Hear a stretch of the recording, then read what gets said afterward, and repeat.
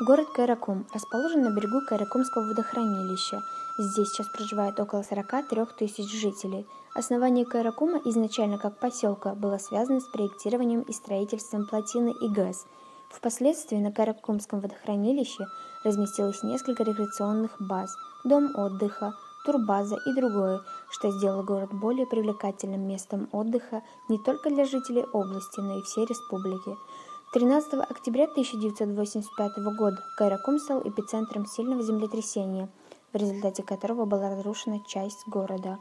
По официальным данным погибло 29 человек. В 1990-е годы Кайракум, как и большинство других городов Республик Средней Азии, пережил массовый отток русскоязычного населения. 3 марта 2016 года город Кайракум был переименован в город Гулистан – в настоящее время город Гулистан остается одним из важнейших городов